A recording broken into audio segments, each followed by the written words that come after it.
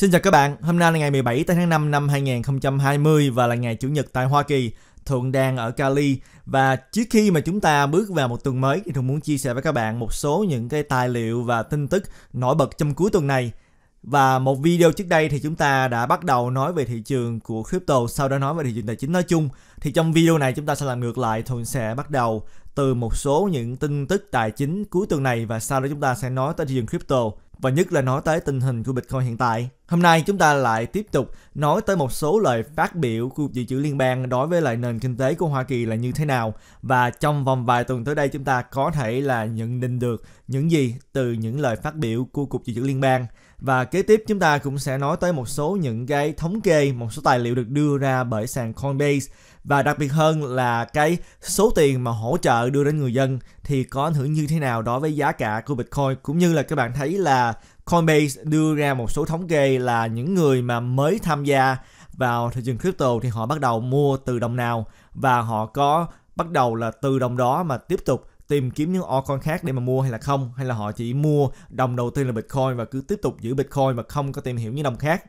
Tại vì điều này là một trong những điều mà sẽ dẫn đến cái sự tăng trưởng của altcoin. Đó là điều kế tiếp chúng ta sẽ nói tới. Và chúng ta cũng nhận được một số tin tức cuối tuần này liên quan tới TC Penny. Đây là một cái công ty mà đang trong tình hình là khai phá sản. Nhưng mà cái sự phá sản ở đây cũng khác đối với nhiều người suy nghĩ. Cho nên tôi muốn chia sẻ một ít về công ty JC Penny và nếu như các bạn à, gửi đồng Bitcoin trong cuối tuần này các bạn có thể thấy là gửi đồng Bitcoin thì tốn phí cao hơn bình thường và lại sẽ tốn nhiều thời gian hơn. Chúng ta cũng sẽ nói về tình hình của mạng lưới Bitcoin ở thời điểm bây giờ là như thế nào. Và cuối cùng là chúng ta sẽ nói tới một số những cái tài liệu được đưa ra bởi Cointelegraph về cái cách nhìn của Cointelegraph về những cái gì đã được xảy ra trong thời gian gần đây liên quan tới các chính phủ, các ngân hàng trung ương khắp nơi in tiền bơm vào trong thị trường thì những điều đó sẽ ảnh hưởng như thế nào đối với tương lai giá cả của BTC. Nhưng mà trước khi mà chúng ta đi vào thêm chi tiết thì cũng như thường lệ, tất cả chỉ vì mục đích thông tin và không được xem lời khuyên đầu tư. Và nếu như mà các bạn thích cái video này hay là các bạn thích những cái video tương tự thì các bạn đừng quên nhấn cái nút like và đăng ký vào kênh để giúp kênh được tiếp tục phát triển. Và nếu như các bạn muốn theo dõi Thuận Capital trên cái mạng xã hội thì các bạn có thể đi vào trang web thuận-capital.com hay là link nào ở phía dưới video này. Các bạn bấm vào giới thiệu thì các bạn sẽ thấy được cái trang như là trên màn hình. Các bạn sẽ thấy những link như là link Facebook, Telegram và Twitter. Và nếu như mà các bạn muốn tìm hiểu các sàn giao dịch crypto thì các bạn có thể đi về trang web thuận-capital.com slash pages slash sàn giao dịch link sẽ nằm ở phía dưới video này các bạn có thể tìm hiểu những sàn như là sàn Margin, SnapX hay là Bybit. Đương nhiên, chơi Margin thì có rất nhiều nguy hiểm cho nên không phù hợp với những bạn mới. Chỉ phù hợp với những bạn nào mà có kinh nghiệm trading hay là các bạn có thể tìm hiểu sàn Binance, một sàn trade altcoin. Và nếu các bạn là một người ở Hoa Kỳ các bạn có thể bắt đầu tham gia từ sàn Coinbase. Các bạn có thể mua và bán crypto trực tiếp thông qua ngân hàng của các bạn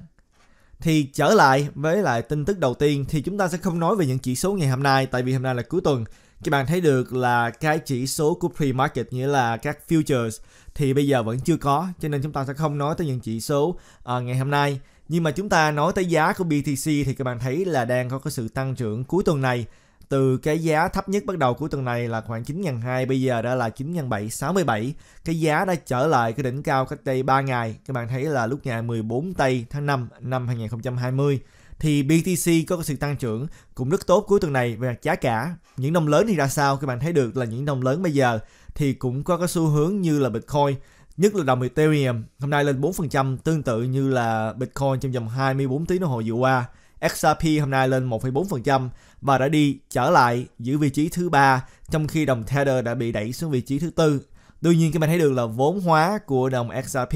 cũng như là Tether thì gần như giống nhau, sự khác biệt chỉ có là 8 triệu đô la. XRP tổng số vốn hóa là 8,8 tỷ, Tether cũng vậy. Cho nên cái tình hình này thì cái sự mà thay đổi sẽ có rất nhanh nếu như mà đồng XRP tăng giá hay giảm giá hay là tuần sau nếu như mà đồng Tether tiếp tục in ra thì sẽ trở về và giữ vị trí thứ ba. Bitcoin Cash thì tăng 2,7%, Bitcoin SV tăng 1,7%, Litecoin tăng 1,6%, EOS thì không có sự thay đổi nhiều, tăng 0,4%, Binance Coin tăng 1,9%, Tezos thì không có sự thay đổi nhiều. Và tổng số vốn hóa bây giờ trên thị trường của crypto là 226 tỷ. Phần trăm của Bitcoin trên thị trường là 67,2%, Ethereum chiếm 8,64% của tất cả vốn hóa và XRP chiếm 3,34%. Thì Chủ tịch Powell đã nói những gì cuối tuần này thì các bạn thấy được là Chủ tịch Powell của Cục Dự Liên bang của Hoa Kỳ đã lên trên một cái chương trình gọi là 60 Minutes, một chương trình cũng rất nổi tiếng ở Hoa Kỳ và đã phát biểu cảm nghĩ của mình về trung hạn và dài hạn của kinh tế của Hoa Kỳ. Thì điều mà chúng ta phải lưu ý ở đây là Cục Dự Liên bang chỉ nói là in the long run and even in the medium run, có nghĩa là trong thời gian dài hạn hay là trong thời gian trung hạn thì ông ta nghĩ là thị trường tài chính và kinh tế của Hoa Kỳ sẽ hồi phục lại. Cho nên ông ta không khuyến khích bất cứ ai mà đối đầu với lại nền kinh tế của Hoa Kỳ trong thời gian dài hạn và trung hạn. Nhưng mà điều các bạn thấy ở đây là ông ta không nói tới ngắn hạn. Nhưng mà trong cuộc họp cách đây vài ngày hồi thứ tư tuần vừa qua thì cục dự liên bang Jim Powell đã có cái nhìn rất là ảm đạm về tương lai ngắn hạn của thị trường chứng khoán cũng như là nền kinh tế của Hoa Kỳ. Các bạn cũng đã nhớ là câu phát biểu của Chủ tịch Powell đó chính là cái câu phát biểu mà chúng ta đang nói tới trong cái video 572. Thị trường tài chính đã đang ở trong một cái mức độ đau đớn khó nắm bắt trong lời nói hay là khó diễn tả trong lời nói cho nên trong thời gian ngắn hạn thì Cục Dự trữ Liên bang có cái nhìn rất là tệ về tình hình của kinh tế. Tuy nhiên là trong thời gian trung hạn và dài hạn thì có một điều mà Chủ tịch Powell đã nói rất rõ ở đây, đó chính là cái sự hồi phục mà Cục Dự Liên bang hy vọng từ đây đến cuối năm, đó là cái sự hồi phục chỉ khi nào mà chúng ta không thấy cái sự tái xuất hiện của dịch bệnh. Có nghĩa là chúng ta không thấy được một cái sự lan tỏa kế tiếp của dịch bệnh. Chứ nếu không, thì sự hồi phục này cũng rất là mong manh. Và điều quan trọng hơn nữa là cho dù có mở cửa trở lại, thì điều mà làm cho nền kinh tế không hồi phục nhanh chóng. Đó chính là người dân vẫn cảm thấy không an toàn khi mà họ ra đường. Và nếu như mà họ cảm thấy là không an toàn, thì họ sẽ không ra đường để mà tiêu dùng. Nền kinh tế sẽ không có thể nào mà phát triển, không thể nào mà có cái sự hồi phục nhanh chóng được. Cho nên điều mà quan trọng nhất ở đây, đó chính là người dân phải cảm thấy an toàn. Và nếu như muốn người dân có cái sự an toàn thì cần phải có vaccine. Nhưng mà vaccine khi nào mới có thì không ai biết được. Cộng vào đó nữa, các bạn thấy được là 36,5 triệu người Hoa Kỳ bây giờ đã khai thất nghiệp,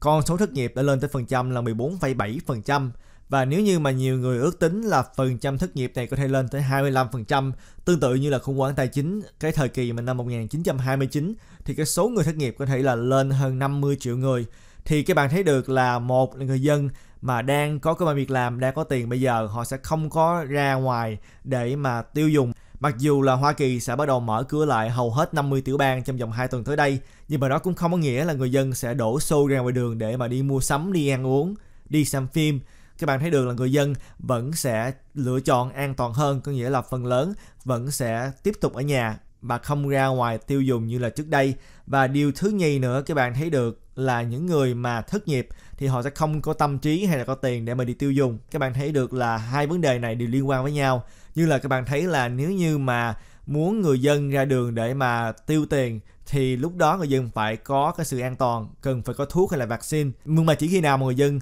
chịu ra ngoài để mà tiêu tiền, thì lúc đó cái công ty mới có thu nhập lại, lúc đó các công ty mới mướn người để mà giúp đỡ họ. Sau đó thì cái phần trăm thất nghiệp mới giảm xuống. Cho nên tất cả đều liên quan với nhau. Cho nên trong cái thời kỳ này, cục dữ liên bang đã nói rất rõ ràng là cục dữ liên bang sẽ làm tất cả các biện pháp để mà hỗ trợ thị trường tín dụng. Đương nhiên, một trong những biện pháp mà Cục Dự Liên bang không có nói tới hay là nói là họ sẽ không hứng thú đó chính là đi vào lãi suất âm. Có nghĩa là cái phần trăm lãi suất bây giờ của Fed là từ 0 đến 0,25% là cái phần trăm thấp nhất. Trong tương lai này,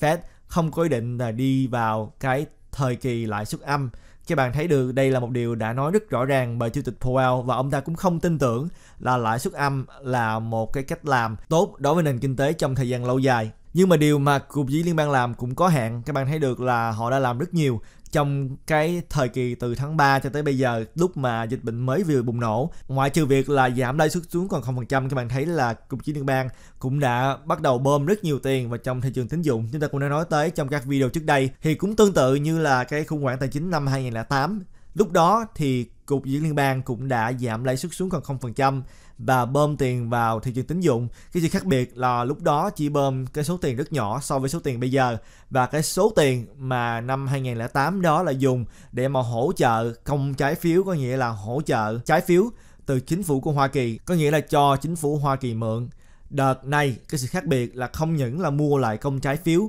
mà Cục Dự Liên bang cũng tiếp tục mua lại những trái phiếu của những công ty tư nhân, thậm chí là những công ty mà đang trên bờ vực phá sản tại vì họ cần tiền để mà tiếp tục hoạt động. cho nên những trái phiếu đó gọi là chân bond hay là những trái phiếu rác, cơ hội mà người mượn nợ không trả lại là rất cao nhưng mà cục dự liên bang vẫn tiếp tục mua những trái phiếu đó để mà hỗ trợ thị trường tài chính, hỗ trợ thị trường tín dụng, cũng như là họ bơm tiền vào trong thị trường bất động sản bằng cách là mua lại những trái phiếu thế chấp bất động sản để cho các công ty cho vay và các ngân hàng có thể là có thêm vốn để mà cho người dân mượn tiền để cho các ngành bất động sản không bị sụp đổ. Những nỗ lực này có đủ hay là không thì dựa theo Cục dưới liên bang là không đủ. Cho nên bây giờ Chủ tịch Powell đã kêu gọi là cần phải có sự giúp đỡ đến từ quốc hội. Có nghĩa là sao? Có nghĩa là cục dự liên bang đang khuyến khích là có thêm những gói hỗ trợ và một trong những gói hỗ trợ mà chúng ta biết đến đó chính là cái gói hỗ trợ 3.000 tỷ đô la mà chúng ta đã nói tới cách đây khoảng chừng hai ba video thì đây là một gói hỗ trợ mà đang được nói đến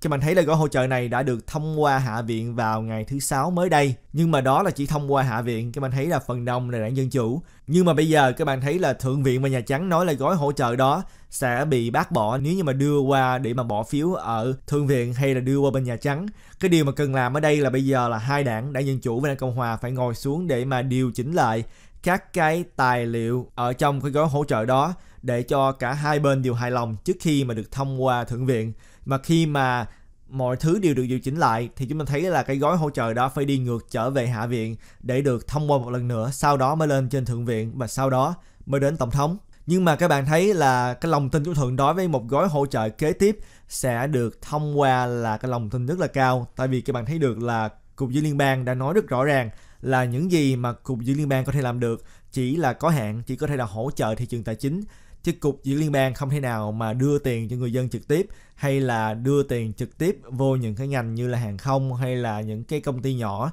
Và các bạn thấy được là càng ngày chúng ta lại càng sẽ nghe nói tới nhiều công ty phá sản hơn. Tại sao? Tại vì các bạn thấy là rất rõ ràng là nền kinh tế của hoa kỳ, cho dù là có mở cửa trở lại như là trước đây, thì cũng không có nghĩa là người dân sẽ ra ngoài đường để mà tiêu dùng như là trước đây. Và đây cũng không có phải là một cái vấn đề riêng trong Hoa Kỳ. Rất nhiều quốc gia lớn trên thế giới cũng sẽ gặp cái vấn đề tương tự tại vì chúng ta cũng mới vừa nói tới là người dân cũng sẽ không có cảm thấy an toàn khi mà họ ra đường. Vì lý do đó nền kinh tế sẽ hồi phục lại rất là chậm và các công ty khi mà họ mở cửa lại cũng chưa hẳn là họ có thu nhập như là trước đây. Cho nên việc mà chính phủ Hoa Kỳ tiếp tục hỗ trợ các công ty là một điều hoàn toàn cần thiết và các bạn thấy được là nhiều công ty hơn đã bắt đầu lộ diện ra là tình hình tài chính rất là bất ổn, nhất là nếu như mà tình hình này kéo dài trong vòng vài tháng tới đây. Và một trên công ty mà được nói tới rất nhiều trong cuối tuần qua đó chính là công ty JC Penney. Thì JC Penney, nhưng mà nào mà không rành thì đây là một cái chuỗi mua sắm là nằm ở trong các mall. Các bạn thấy được là thường thường mall thì có những cái công ty gọi là công ty trụ cột có nghĩa là một cái mall thường là sẽ có một hay hai nơi mua sắm lớn, cộng vào đó là một cái rạp hát và một cái nơi tập thể dục tại vì đây là những cái cửa tiệm sẽ thu hút người tới sau đó người ta mới đi mua sắm ăn uống trong mall và thường thường là hai cái chuỗi mua sắm lớn ở trong các mall một là JC Penney, còn hai là Macy thì JC Penney, các bạn thấy đã có dấu hiệu bất ổn. Và cuối tuần qua chúng ta đã nghe nói tới là công ty JC Penney đã khai phá sản. Nhưng mà điều mà Thuận muốn chia sẻ với các bạn ở đây là cái phá sản mà công ty JP Penney nói tới đó chính là cái Chapter 11 hay là phá sản 111. 111 này không phải là phá sản là bán hết tài sản và đóng cửa. 111 này có nghĩa là các chủ nợ sẽ cho công ty JP Penney một thời gian có thể là bán đi một số tài sản và điều chỉnh cách kinh doanh để có thể là tiếp tục trả nợ cho các công ty chứ không phải là khai phá sản là sẽ đóng cửa cho nên trong thời gian mà khai phá sản Chapter 11 này thì lúc đó là các chi nhánh của JP Penney vẫn tiếp tục hoạt động. Chỉ có một số chi nhánh là sẽ bị đóng lại, nhất là những chi nhánh nào mà đang bị lỗ. Những chi nhánh làm ăn được cũng sẽ tiếp tục làm ăn. Và công ty JP Penney phải chứng minh được là công ty này có khả năng để mà trả lợi vốn và lời cho những chủ nợ. Và cái thời điểm mà công ty JP Penney có để mà chứng minh được cho các chủ nợ đó chính là từ đây cho đến tháng 7 năm 2020 này thì các bạn thấy là đối với cái sự mà hỗ trợ từ cục dự liên bang cũng như là cái sự hỗ trợ đến từ quốc hội, có nghĩa là cái gói hỗ trợ, thì cái số tiền mà sẽ được in ra bơm vào trong thị trường là một con số rất là lớn. Và đây cũng là điều đã được đề cập tới bởi chủ tịch Powell. Thì ông ta tin tưởng là cái số tiền cần thiết để mà hỗ trợ các công ty qua khỏi dịch bệnh này sẽ là một số tiền rất là lớn. Tại vì bây giờ có mở cửa lại thì các công ty cũng không có thu nhập như là trước đây, cho nên vẫn cần cái sự hỗ trợ từ chính phủ cũng như là từ cục dự liên bang. Và sau này số tiền đó chúng ta phải trả giá. Nhưng mà đối với lại chủ tịch Powell thì suy nghĩ của ông ta là, một là không hỗ trợ thị trường. Chúng ta sẽ đi vào một cái tình hình là suy thoái tài chính rất là nhanh chóng.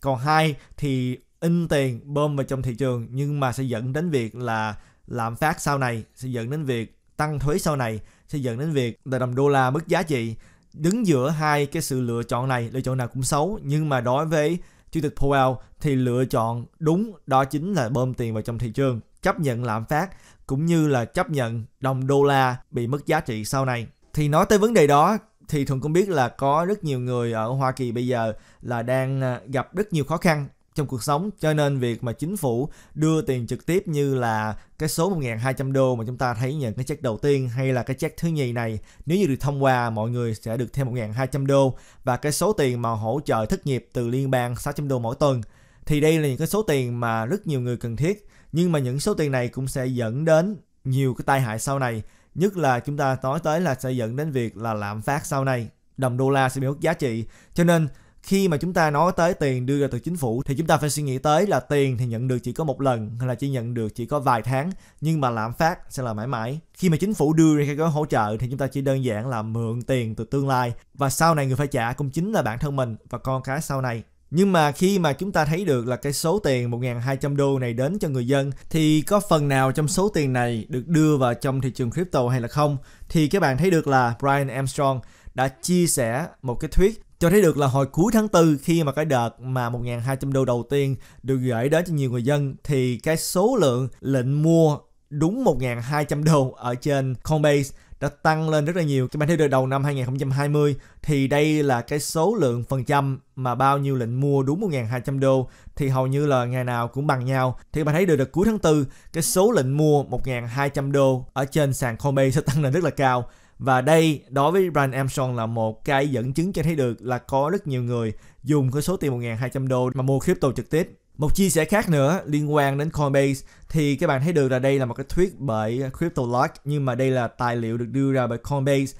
thì cho thấy được là cái số lượng người mà mở chương mục trên sàn Coinbase, thì khi mà họ mở chương mục từ năm 2019 cho tới năm 2020 này, thì phần lớn các bạn thấy là 60% 6 trên 10 người khi mà mở chương mục thì họ sẽ mua Bitcoin đầu tiên 4 trên 10 người là họ không mua Bitcoin mà mua một cái altcoin khác. Tôi thấy là đây là một cái tài liệu mà chúng ta thấy rất là bất ngờ tại vì thường nghĩ là cái phần trăm mà người ta mua Bitcoin khi mà mở chương mục ở trên Coinbase đồng đầu tiên mua là Bitcoin thì khả năng đó là cao hơn rất nhiều. Thủ thì tưởng tượng là khoảng chừng 80 90%, nghĩa là 8 trên 10 người, 9 trên 10 người. Nhưng mà sự thật thì 10 người mở Coinbase thì các bạn thấy là 4 người đã mua altcoin, chỉ có 6 người là mua Bitcoin đầu tiên. Và trong 6 người mua Bitcoin đầu tiên này các bạn thấy được là chia ra là sau khi mà mua Bitcoin đầu tiên, thì 36% của cái số lượng người mà mua Bitcoin đầu tiên đó sau một thời gian, thì họ sẽ mua những cái altcoin khác. Chỉ có 24% là tiếp tục ở lại, không có mua những altcoin khác. Thì đây là một cái tài liệu thường cảm thấy là rất giá trị cho những bạn nào mà đang trông chờ là khi nào chúng ta mới thấy altcoin tăng trưởng như là năm 2017 thì câu trả lời rất rõ ràng các bạn thấy được là phần lớn mọi người, cho dù là mới mở chương mục Coinbase và thường nghĩ là tài liệu này cũng tương tự như là những cái sàn khác. Khi mà mở chương mục thì cái số lượng người mà mua altcoin có thể lên tới là 40% là mua trực tiếp altcoin còn có số lượng người mà mua bitcoin thì trong cái số đó là các bạn thấy là hơn phân nửa là sẽ mua altcoin sau này. Cho nên tôi rất có lòng tin là khi nào mà bitcoin phá đỉnh cũ thì lúc đó chúng ta sẽ thấy một mùa altcoin mới nổi lên. Tại vì lúc đó các bạn thấy là sẽ nhiều người hơn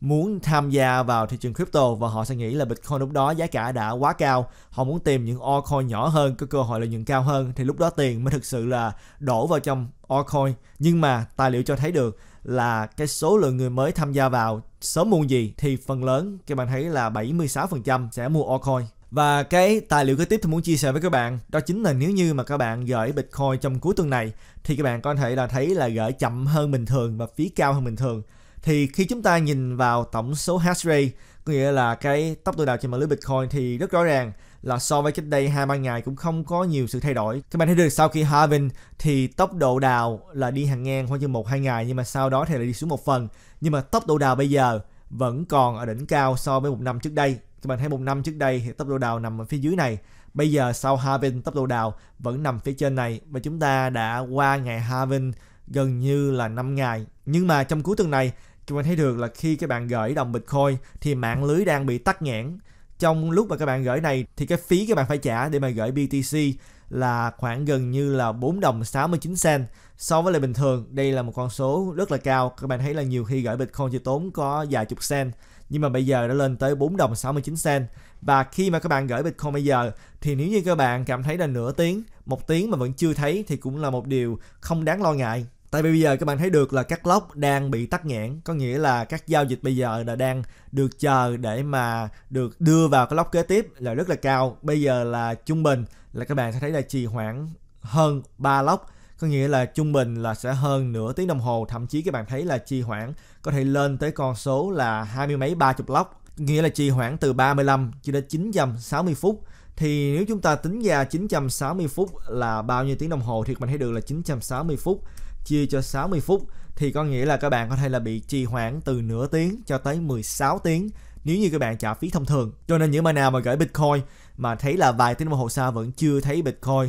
được xác nhận hay là có thể thấy tài liệu gửi thì cũng là một điều mà không có đáng lo ngại bây giờ. Chỉ đơn giản là mạng lưới đang bị tắc nghẽn tại vì có quá nhiều giao dịch. Nhưng mà vì cái lý do này, các bạn thấy được là Bitcoin ở cái phiên bản hiện tại thực sự là không thể được sử dụng rộng rãi trong đời sống hàng ngày tại vì chỉ cần nhúc nhích một chút xíu mà giá Bitcoin tăng lên khiến cho nhiều người quan tâm đến thì mạng lưới sẽ bị tắc nghẽn ngay lập tức. Và các bạn thấy là hồi năm 2017 lúc mà Bitcoin lên 19.000 đô, 20.000 đô thì cái sự tắc nghẽn còn nghiêm trọng hơn là các bạn phải trả cái phí là thậm chí là lên tới 50 đô la để mà gửi Bitcoin. Nhưng mà đương nhiên cái phí đó là không phải tính theo các bạn gửi bao nhiêu Bitcoin mà tính theo là các bạn gửi Bitcoin các bạn là cái trọng lượng là bao nhiêu. Các bạn có thể gửi 1 triệu đô la mà vẫn sẽ trả là 4 đồng 69 cent, hay là các bạn gửi 100 đô la vẫn trả là 4 đồng 69 cent. Cái phí không tính theo con số tiền gửi mà tính theo trọng lượng. Cho nên một trong những giải pháp mà chúng ta cũng đã nói tới rất nhiều đó chính là sử dụng mạng lưới Lightning Network. Nhưng mà mạng lưới Lightning Network thì cũng không phải là một mạng lưới mà được nhiều người nói tới trong thời gian gần đây. Và Bitcoin thì thật ra mà nói là nhiều người không có ý định là sẽ làm cho mạng lưới này nhanh hơn tại vì bây giờ nhiều người tin tưởng là Bitcoin là một cái mạng lưới rất là đơn giản và có mặt lâu đời, có cái sự bảo vệ rất là tốt bởi các thời đào. Cho nên tuy là chậm nhưng mà họ cảm thấy đây là mạng lưới an toàn. Vì lý do đó bây giờ các bạn thấy là nhiều người cho Bitcoin là một tài sản, một vàng điện tử chứ không phải là một cái mạng lưới thanh toán hàng ngày và chỉ nên sử dụng Bitcoin khi mà các bạn cần phải thanh toán số lượng lớn mà các bạn cần phải có cái sự an toàn và phi tập trung cao. Và điều cuối cùng tôi muốn chia sẻ với các bạn trước khi mà chúng ta kết thúc video này đó chính là liên quan tới một bài viết của Cointelegraph mà thường cảm thấy là cũng rất là thú vị. Tại vì một trong những điều mà đã được nói tới, thường cũng đã đề cập tới trong ờ, một số video, đó chính là mỗi lần mà chúng ta thấy có một sự kiện lớn xảy ra, như là năm nay là sự kiện liên quan tới dịch bệnh, thì sau khi sự kiện này xảy ra, các bạn thấy được là cái sự khác biệt giữa người già và người nghèo lại càng có khoảng cách xa hơn. Tại sao? Tại vì các bạn thấy được là trong thời gian qua các số tiền mà được in ra để mà bơm vào trong thị trường tài chính là phần lớn bơm vào để mà hỗ trợ tiền tín dụng, hỗ trợ các công ty, khiến cho cổ phiếu các công ty tăng lên, khiến cho giá cả của các tài sản không tiếp tục đi xuống, thậm chí là các tài sản lại có cái sự tăng trưởng về mặt giá cả. Nhưng mà các bạn nghĩ là người nào mà có nhiều tài sản trong tay thì đó chính là những người mà có tiền. Các bạn thấy một người dân bình thường thì sẽ không có nhiều tài sản. Cho nên cái số tiền mà in ra bơm vào trong thị trường cũng sẽ dẫn đến người bình thường sẽ không có được hưởng nhiều lợi từ đó. Các bạn thấy là người bình thường chỉ nhận được là 1.200 đô từ chính phủ Hoa Kỳ hay là một số tiền trợ cấp thất nghiệp trong một khoảng thời gian ngắn. Trong khi mà các công ty có thể nhận được cái số tiền là mấy mươi triệu. Cho nên những gói hỗ trợ này sẽ khiến cho người giàu càng giàu hơn tại vì những gói hỗ trợ này sẽ hỗ trợ giá trị tài sản. Còn người nghèo thì lại nghèo hơn, tại vì người nghèo không có tài sản trong tay. Tiền in ra thì làm cho giá trị tài sản tăng lên nhưng mà người nghèo thì cái mà họ có được chỉ là một phần nhỏ tiền trợ cấp từ chính phủ, nhưng mà sau đó họ lại phải đối đầu với lại tình trạng là đồng đô la bị mất giá làm phát tăng cao. Và thường thường tình hình này sẽ dẫn đến là giá cả của một số tài sản tăng lên rất là cao, nhất là những tài sản mà họ coi như là một tài sản lưu trữ giá trị lâu dài. Và trước đây, đó chính là vàng. Nhưng mà đợt này, các bạn thấy là ngoại trừ vàng ra chúng ta còn có Bitcoin. Bitcoin thời điểm này là thời điểm mình thường cảm thấy là quan trọng nhất. Trong vòng 10 năm qua thì Bitcoin lúc nào cũng nói là một loại tài sản, là một cuộc cách mạng tiền tệ. Nhưng mà bây giờ là thời gian quan trọng nhất để Bitcoin có thể chứng minh được là Bitcoin là có giá trị, một tài sản mà đáng được người ta bỏ tiền vào để mà lưu trữ giá trị lâu dài. Và từ đầu năm cho tới bây giờ, các bạn thấy được là Bitcoin đã không làm cho mọi người thất vọng. Bây giờ so sánh với lại vàng, so sánh với lại S&P 500 thì từ đầu năm cho tới bây giờ, Bitcoin vẫn là một tài sản có có sự tăng trưởng phần trăm cao nhất. So với lại vàng, Bitcoin đã có sự tăng trưởng hơn hai lần từ đầu năm cho tới bây giờ. Và trong thời gian gần đây, chúng ta thấy là một số những công ty đầu tư đã bỏ một phần tiền vào trong Bitcoin và nếu như mà từ đây đến cuối năm, Bitcoin có sự tăng trưởng mạnh mà khiến cho những quỹ đầu tư đó có được lợi nhuận tại vì có Bitcoin trong đó, thì thường nghĩ là lúc đó sẽ dẫn đến một cái phong trào FOMO đến từ những nhà đầu tư lớn. Thì đây là những gì mình muốn chia sẻ với các bạn trong video ngày hôm nay. À, ngày mai khi chúng ta bước vào một tuần mới thì Thường sẽ chia sẻ thêm một số những cái thông tin mới nhất với các bạn. Thuận hy vọng các bạn nhận được nhiều giá trị trong video này. À, nếu như các bạn là một trader mà các bạn muốn ủng hộ Thuận Capital, các bạn có thể tham gia các sàn giao dịch thông qua link ở phía dưới video này. Thì các bạn có thể tham gia những sàn margin như là sàn NAPX và sàn Bybit. Tham gia sàn NAPX bằng cách bấm vào link tham gia sàn. Sau khi mà đăng ký thành công thì các bạn có thể bấm vào cái nút kế bên để đăng ký vào nhóm nhận hỗ trợ cũng như là cái tín hiệu chơi miễn phí thông qua Telegram. Tuy nhiên là giao dịch margin có rất nhiều nguy hiểm, các bạn có thể có được lợi nhuận cao nhưng mà nguy hiểm cũng rất cao. Các bạn có thể là long đánh lên hay là short đánh xuống, thị trường lên xuống các bạn đều có thể là kiếm được lợi nhuận. Nhưng mà chơi margin không phù hợp với những bạn mới, chỉ phù hợp với những bạn nào mà có kinh nghiệm trading. Nếu như các bạn muốn giao dịch altcoin, các bạn có thể tham gia sàn Binance. Tham gia thông qua link của Thuận Capital ở phía dưới các bạn có thể là được giảm 10% phí giao dịch. Sau khi mà giao dịch, sàn sẽ trả lại 10% vào trong ví của các bạn ba sàn này Starbucks, Bybit và Binance là ba sàn quốc tế nếu như mà các bạn là một người ở Hoa Kỳ các bạn có thể tham gia sàn Coinbase bằng cách ta bấm vào nút đăng ký thông qua link ở phía dưới video này và ngoại trừ các video các bạn có thể tìm thấy các bài viết của đội Thuận Capital ở trên trang web thuậncapital.com và Thuận sẽ hẹn gặp lại các bạn trong video kế tiếp. Tạm biệt các bạn.